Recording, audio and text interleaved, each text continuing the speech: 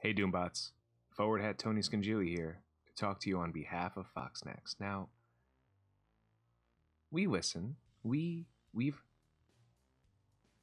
heard rumors that people are no longer interested in playing the game as much, or they're getting burned out, or the rewards aren't great, or there's too many bottlenecks. And, and you know, we have people that gather this information and then they print it out in a nice file and then they leave it on our desk. Uh, and we take it and we recycle it because we care about the environment. We don't read it, it's not necessary. Because every time someone complains about red star orbs, two people buy them. And every time somebody complains about how hard U7 is, someone's spending cores to accelerate to 100%. And every time someone uses crocodile tears to discuss how hard it must be for the average player, the free to play player, or the very low spender, they rip out their credit card and make the next purchase for a new character. So while we are listening to the feedback you're giving, like more access, more availability, new content, turns out that without doing anything, things kind of stay the same. So we're going to go ahead and keep doing that. And since, you know, Red Star Orbs were loved by our bank accounts, we're probably going to release ISO 8s in a very similar way, where, sure, we'll give a handful of them out to the community a week. Just, you know, you can even farm some of them. But if you're not buying the ISO 8 packs, eh, you're not going to be doing too well. Because for every complaint that anyone has ever levied, we kept making money. That's that. Thanks for watching. Ha, all right. Uh, regular Tony back, just to kind of address something. Now, I made a video a while ago saying, don't quit. Just play the game a little bit more casual. And, you know, some people have quit. I have a message that I don't want to show because I don't know if the person who sent it to me wants their name out.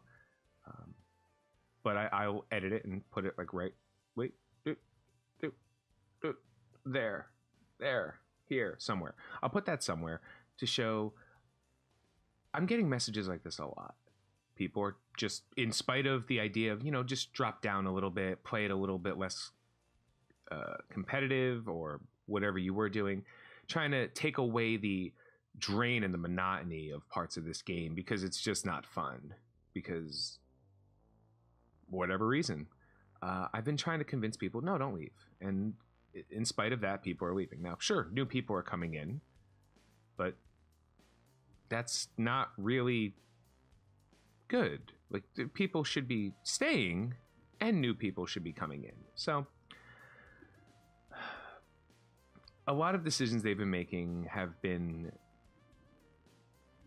continued attempts to to fix something, and and they're just missing the mark. Now, some people say that the over uh, the conversation about the Marauders milestones were exaggerated, and it wasn't an issue, and they're, they're entitled to that opinion. Uh, some people are saying purple, these mutant gear, these specific orbs that I have on screen right now, they are uh, positive for the community uh, because they're free, right? They, it's just stuff you get. So why would you complain about something you get for free?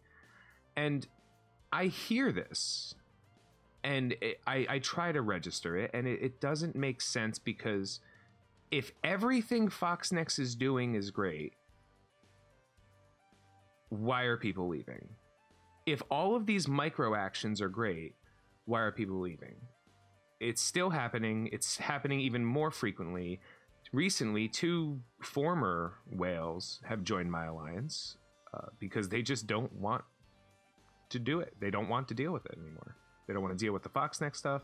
They don't want to deal with having to spend to stay competitive at the top. And I understand it. And they're welcome with open arms, and we have fun. I hope they'll let me know after this video if they're not having fun. I don't like the idea of people quitting a game that I like. This is not a monetary thing. I don't care. Once I spend money in a game, that money's gone. Period. It's gone. I, I'm I this isn't an investment.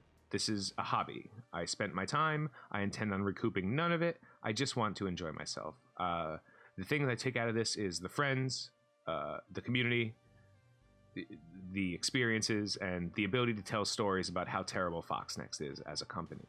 That's something that will I'll carry with me forever. Uh, other than that, whether this game succeeds or fails has very little effect on me and most people. But with the decisions they've been making now, it shows not that they're not trying uh, to make changes. Like the the Marauders milestone looks like they did try to do something. It shows just exactly how tone deaf they are regarding what constitutes a catch-up mechanic or what constitutes something that benefits the community. They they're they're missing the mark. And you don't have to go much further than Reddit to find 10,000 people who know how to fix the gold problem or how to fix this like the the solutions exist. They're not looking for the solution. They're looking for the least they can do to get away with it. And to get away with what they're doing. The least they can do to make people not quit.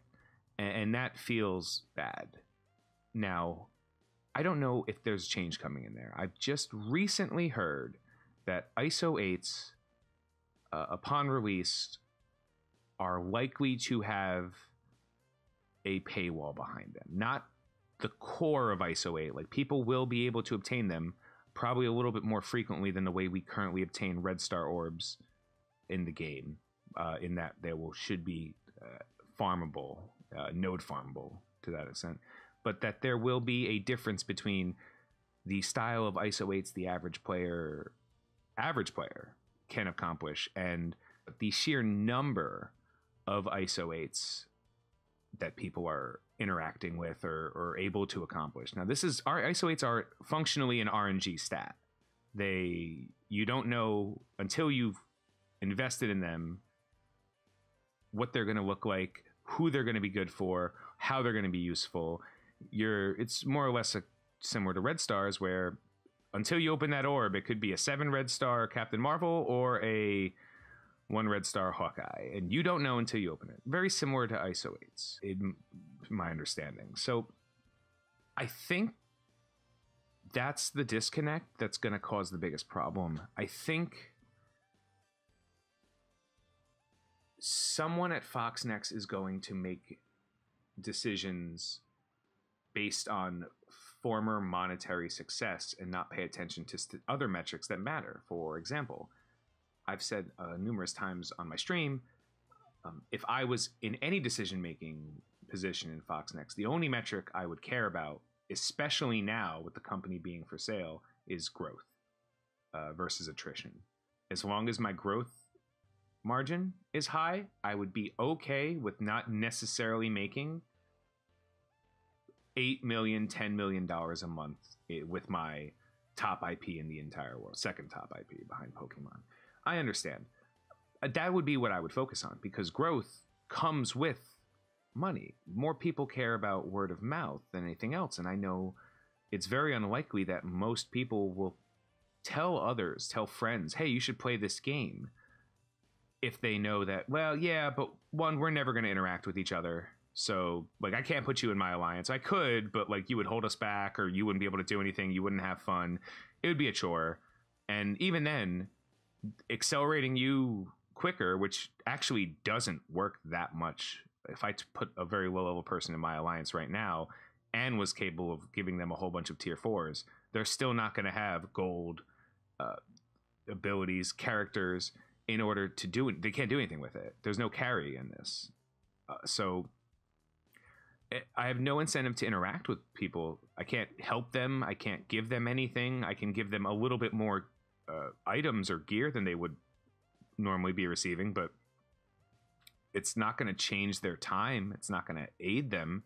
And realistically, it's just going to be the fastest way to turn this into just another job they do, another daily task that they have. And that's what's probably causing the biggest part of burnout. So I'm not trying to advocate for people leaving. I never have been, I never will be. But I am trying to advocate for change because something has to change. People can't keep leaving. And it's not whales. It's not all whales. It's not all free to play players. It's people who are just sick and tired of Alliance War, Gamma, U7 clearly being tuned for ISO 8s that we don't have yet, release characters, not having new and exciting content, which does not include character releases, you know, not having any information about what Dark Dimension 3 is going to look like other than it will exist and you need to have gear tier 14 characters with these specific setups.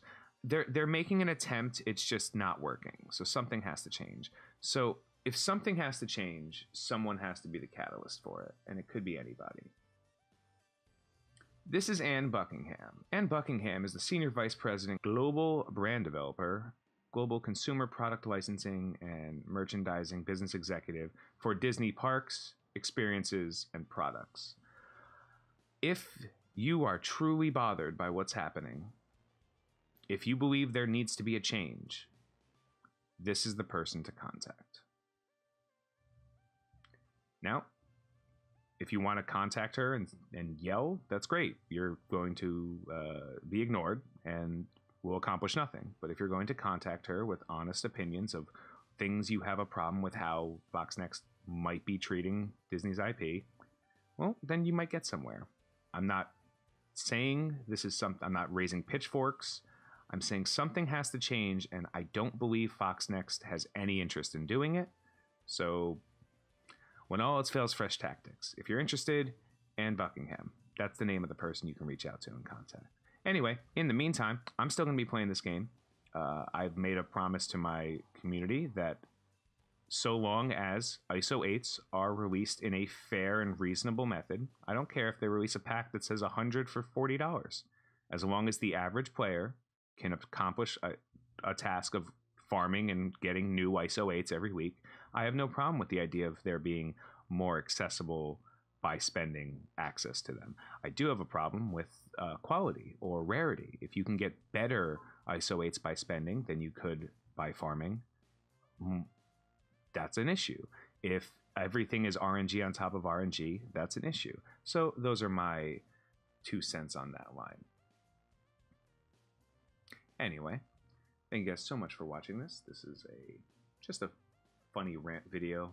Very calm about it if I can be. Uh, and hopefully uh, you guys enjoyed it. Anyway, leave your comments below if you agree, disagree, think I'm a jerk, whatever.